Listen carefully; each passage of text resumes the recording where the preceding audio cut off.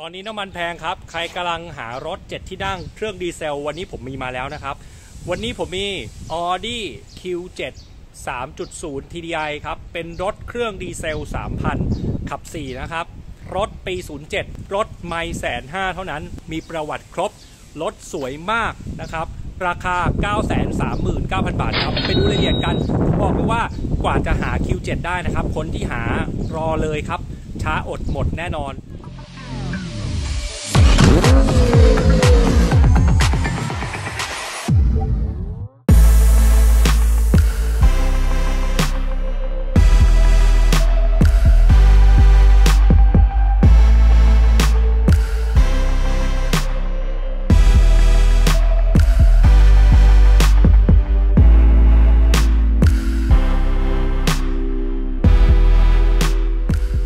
ครับเนมจากช่องโนเนมนะครับ วันนี้โนเนมมารีวิวรถ หายากอีกหนึ่งรุ่นนะครับ ก็คือ Audi Q7 ผมเคยรีวิว Audi Q7 เครื่องเบนซินไปนานมากแล้วนะครับ ทั้งดีเซลและเบนซินขายไปนานแล้วนะครับ ตอนนั้นยังล้านกว่าบาทอยู่เลยล้าน2ล้าน3นะครับ จริง ๆ ตอนนี้น้ำมันแพงนะครับ คนต้องการรถอเนกประสงค์ที่เป็นเครื่องดีเซลค่อนข้างเยอะ เครื่องดีเซลหาค่อนข้างยากนะครับ เนื่องจากว่า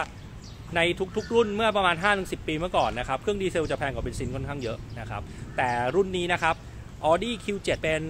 SUV รุ่นใหญ่สุด ถ้าเฉพาะ Audi เนี่ยจะมีทำตลาดทั้งเบนซินและดีเซลนะครับทั้งเครื่อง V6 และเครื่อง V8 โดยเฉพาะเครื่อง V8 เนี่ยมันเป็นเครื่องตัวเดียวกับ RS หรือ S5 นะครับซึ่งปี 2007-2008 นะครับเขาจะใช้เครื่อง 4.2 ลิตร ซึ่งแรงมากนะครับ ราคาก็จะขยับไปไกลเลย แต่คนส่วนใหญ่ที่อยากได้รถอเนกประสงค์ก็ยังหารถดีเซลนะครับ ดังนั้นวันนี้ผมมีมาแล้วนะครับ ตัวนี้เป็น Audi Q7 ปี 2007 ทำตลาดตั้งแต่ประมาณปี 2005 ในตัวแรก ตัวนี้เป็นรุ่นปี 2007 เครื่องดีเซล 3,000 นะครับ ขับ 4 กับเกียร์อัตโนมัติ 6 สปีดนะครับ ให้แรงม้าประมาณ 250 ประมาณนั้นนะครับ ถ้าผมจำไม่ผิดนะ แต่ที่สำคัญคือมันเป็นรถที่นุ่มนวลมาก ขับดีมาก แล้วก็อเนกประสงค์เพราะข้างใน 7 ที่นั่ง ถ้าเทียบ segment ใกล้ ๆ กัน ถ้าผมเห็นในอเมริกานะ เขาจะเทียบกับ Lexus นะครับ RX 350แล้วก็ถ้าเทียบกับ Volvo เขาจะเทียบกับ XC90 Feeling การขับเอาจากผมก่อนนะ ผมว่า Audi นะครับ ถ้าเทียบกับ XC90 ผมว่า Audi ขับนุ่มนวลกว่านะครับ และขับสนุกกว่าวอลโวจะให้ค่อนข้าง safe นุ่มนวลแต่ไม่ได้ firm เท่าออดี้นะครับ แล้วก็ผมเป็นคนชอบรถขับสี่โดยส่วนตัวอยู่แล้ว ดังนั้นนะครับ ถ้าคนต้องการ การขับขี่ที่มันนะครับ ผมแนะนำ Audi เลย คันนี้นะครับเป็น Audi Q7 นะครับปี 2007 เครื่องดีเซล มือ 1 6 ล้านกว่าวันนี้นะครับ ราคา 939,000 บาทครับไม่แสนห้ามีประวัติครบ ไปดูครับว่าข้างในน่าใช้ขนาดไหน Audi Q7 เครื่องดีเซลนี่เป็น 3.0 TDI นะครับ ให้แรงม้า 270 กว่าแรงม้า ที่สำคัญคือเป็นขับ 4 นะครับ เป็นปอร์โทขับดีประหยัดนะครับ และแรงมากและออปชั่นไม่ต้องพูดถึงเหลือๆเลย รถคันนี้ปี 07 นะครับ คุณคิดดูว่าจะ 15 ปีแล้วนะครับ รถยังดูดี ตัวนี้นะ่ะมันจะเป็นคู่แข่งของทั้ง SUV ใหญ่สุดนะครับ อย่าง XC90 นะครับ อย่าง Lexus นะครับ แต่ Lexus จะเป็น 5 ที่นั่งนะครับ ดังนั้นคนที่หาเครื่องดีเซล 7 ที่นั่ง ผมว่าคู่แข่งเนี่ยหายากมากนะครับ ถ้าเทียบ 2 ยี่ห้อนี้ระหว่าง Audi นะครับ แล้วก็ Volvo นะ แล้วแต่ความชอบเป็นผมนะครับ ผมจะชอบ Audi เนื่องจากระบบการขับสี่ของเขาขับเนี่ย สนุกมาดูนะครับ กระจังหน้าก็จะเป็นกระจังหน้า 4 ห่วงตามสไตล์ Audi นะครับ พร้อมโลโก้ Quattro นะครับ ไฟก็จะเป็นไฟลูกแก้วเรียบร้อย รถคันนี้รถเดิมสวย ๆ เลย ไม่มีอุบัติเหตุเลย มีประวัติเข้าศูนย์ทุกระยะเป็น V6 3.0 ลิตรนะครับ อย่างที่บอกจริงมีทั้ง V6 V8 นะครับเบนซินและดีเซลนะครับ แต่ดีเซลเนี่ยหายากและแพงกว่านะครับ ตอนออกมือหนึ่งเนาะดูเครื่องนะครับดูสภาพเดิมๆหมดเลยนะครับ รถมีประวัติเข้าศูนย์ทุกระยะดังนั้นไม่ต้องกลัวครับ รถคันนี้นะครับ เจ้าของเก่าเป็นนามสกุลที่ทำเกี่ยวกับรถอยู่แล้วนะครับ บอกเลยว่าเห็นนามสกุลก็รู้แล้วว่ารถคันนี้ได้มาเนี่ยคุ้มสุดๆจริง ๆครับ แรงด้วยนะ 270 กว่านะครับ แรงม้าพอๆกับตัว Lexus RX 350 กับ Volvo เลยนะครับ แต่เป็นเครื่องดีเซล ล้อนะครับ เป็นล้อโรงงานเป็นยางขอบ 19 ครับ ช่วงล่างดีมาก บอกเลยว่าคันนี้ช่วงล่างเขา service มาหมดแล้วนะครับ รถไม่มีชนนะครับ สีเดิมๆทั้งคัน รถคันนี้นะครับ สีเดิมๆนะครับ เนี่ย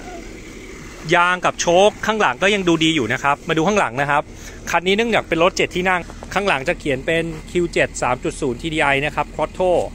นะครับ มีท่อคู่จากโรงงาน รถสภาพสวยๆเลยนะครับ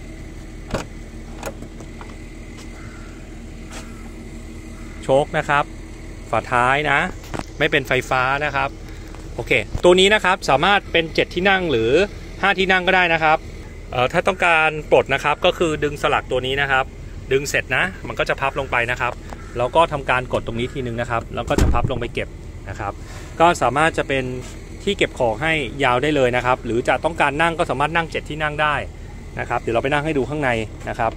เนี่ยข้างหลังอุปกรณ์ทุกอย่างก็ครบๆอยู่เลยนะครับ ที่ชาร์จรถเดิมๆสวยๆเลยนะครับเนี่ยคือเอาจริงสวยมากครับ คันนี้สวยจริง ๆ เลย เดี๋ยวไปดูภายในกันนะครับ ข้างในจะเนียนขนาดไหน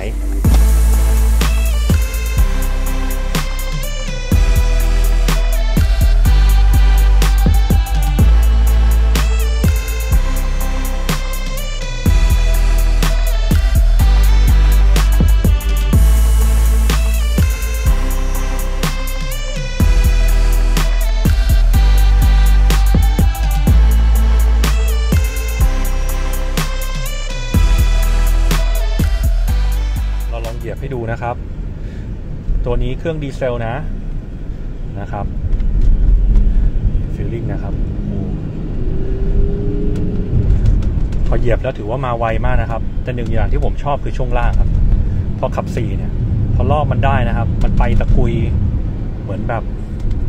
เหมือนไปทั้งหมดนะครับ เดี๋ยวเราขึ้นลูกระนาดให้ดู ช่วงล่างนะครับรถใหญ่ขนาดนี้นะ ผมว่าช่วงล่างเขาเอาอยู่เลย ขึ้นปุ๊บอยู่เลยนะครับ อยู่ทันทีนะครับ ถามว่าด้วย body ที่ใหญ่นะครับ กับระบบการขับเคลื่อนขับเคลื่อน4ล้อนะครับด้วยเครื่องตัวนี้ผมว่าเอาอยู่นะ ดีเซลเนี่ยเหยียบปุ๊บโอ้โห เราลองให้รู้นะครับ คันนี้นะครับ เครื่องสมบูรณ์เกียร์สมบูรณ์มากนะครับ เดี๋ยวไปชมครับ ข้างในจะสมบูรณ์ขนาดไหนมาดูภายในของ Audi Q7 นะครับ ตัว 07 นะกุญแจแบบนี้นะ ล็อกกับปลดล็อกนะครับผมบอกเลยว่ารถคันนี้จริงๆสภาพดีมากนะครับ รถคันนี้นามสกุลเจ้าของรถคันนี้นะครับ ถ้าเห็นแล้วทุกคนจะรู้เลยว่าเขาจะรักรถมากนะครับอ่าเบาะนะครับ โดยรวมถือว่าสวยมากนะครับ เจ้าของใช้ถนอมมาก ดูเบาะนะครับ เป็นเป่าปรับออโต้นะ เดี๋ยวสตาร์ทรถกันนะครับ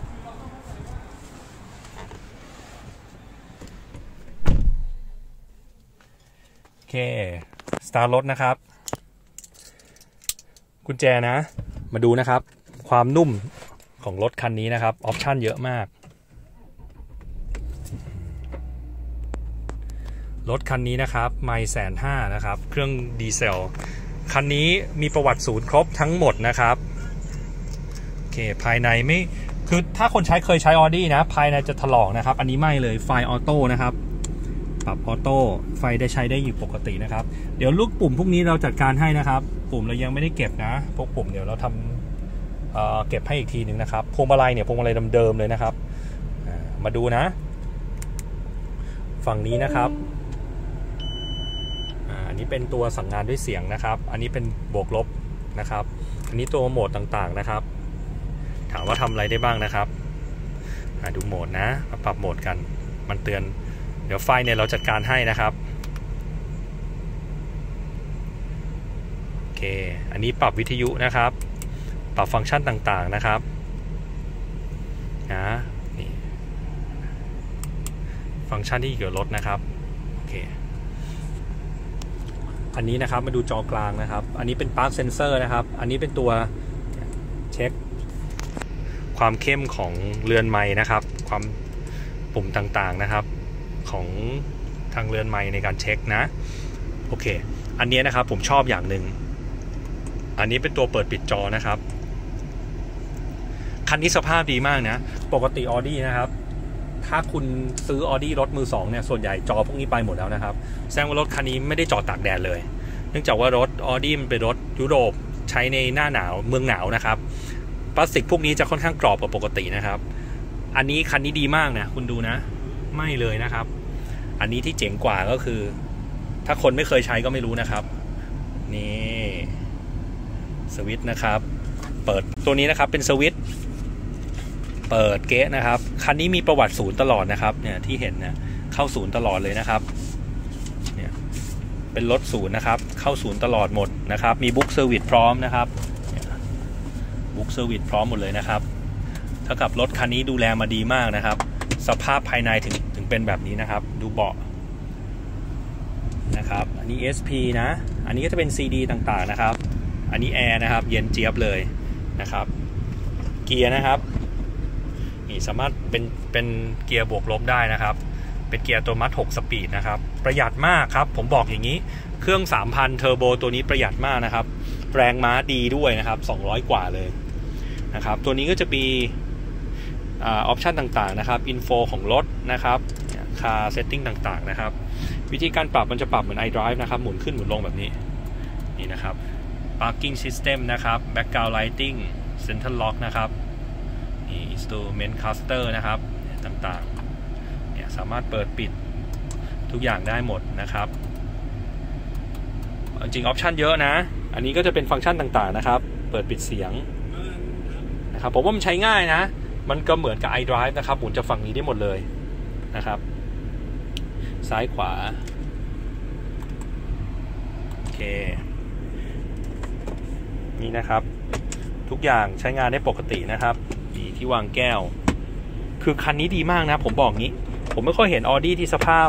เบาะภายในแบบนี้สวยๆนะครับ มาดูแถว 2 กันนะครับ ที่ที่นั่งสบายที่สุดของรถคันนี้นะครับ จริง ๆ ตัวนี้มันเป็น 7 ที่นั่งนะครับ แถวหลังจะค่อนข้างสบายเลย เนี่ยคุณดูนะ ภายในคันนี้เบาะเขายังสวยอยู่เลยนะครับ มีสามารถดันตัวนี้สามารถดันคอขึ้นมาได้ด้วยนะ นั่งนะครับ ขาเนื่องจากข้างหน้าเนี่ย ผมปรับระดับของผมนะครับ แต่อาจจะไม่ได้ยาวมากดังนั้นข้างหลังจะนั่งสบายได้เลยนะครับแอร์นะครับ ตัวนี้จะเป็นแอร์ four zone นะครับ มีแอร์ของผมมาเรียบร้อยเลย คุณดูเอางี้นะ คุณดูความใหม่นะครับ คุณดูจอสิ ยังสภาพยังดีอยู่เลยนะฮะ คุณดูนะครับ นี่สามารถมีที่วางอาหารนะครับสำหรับเด็กๆ ถ้าต้องการทานข้าวหรือทำงานก็ตั้งตรงนี้อีกหนึ่งอย่างที่ชอบนะครับ เบาะสามารถถอยหลังได้นะครับนี่เท่ากับที่พื้นที่ก็จะเหลือเฟือนะครับสำหรับคนที่ต้องการนั่ง 5 ที่นั่งนะครับ เดี๋ยวมาดูข้างหลังนะครับ ถ้าคุณต้องการที่จะปรับไปนั่งข้างหลังนะครับนะคุณก็สามารถกดตรงนี้ลงมานะครับ แล้วก็ดันลงไปข้างหน้าได้เลย ก็จะสามารถขึ้นไปนั่งได้เลยนะครับ เดี๋ยวนั่งให้ดูนะครับ โอเคบาะข้างหลังนะครับ ผมสูง 180 กว่านะครับ อาจจะอาจจะแน่นไปนิดนึงนะครับ ก็สามารถนั่งได้นะ แต่ขาอาจจะติดนะครับ ขาติดเด็กนั่งสบายนะครับ หรืออาจจะขยับไปข้างหน้าหน่อยก็อาจจะนั่งได้นะครับ แต่ข้างหลังเนี่ยโหสภาพดีมากนะช่องแอร์ไม่แตกเลยนะครับเนี่ยตรงนี้ก็จริงๆ สามารถพับเป็นที่เก็บของได้นะครับ นะสามารถกดตรงนี้ดึงขึ้นมาได้ ก็ดึงขึ้นมาได้เลยนะครับพับขึ้นมาอย่างนี้ได้ ก็อเนกประสงค์ดีนะฮะโอเคครับ เดี๋ยวมาดูครับสภาพแบบนี้ราคาเท่าไหร่ครับ ได้เห็นสเปคและรายละเอียดของ Audi Q7 ใครสนใจคันนี้นะครับ อยากแลกอยากเทิร์นอยากขายอยากฝากขายนะครับ คุยกันได้หมดราคา 939,000 บาทครับรถปี07รถประวัติดีมากนะครับ ใครสนใจนะครับ 0617456222 ครับ 0819082026 หรือคิวอาร์โค้ดตามนี้ได้เลยนะครับ สุดท้ายนี้ฝากติดตามช่องโนเนมเป็นกำลังใจให้โนเนมด้วยนะครับ สวัสดีครับ บ๊ายบาย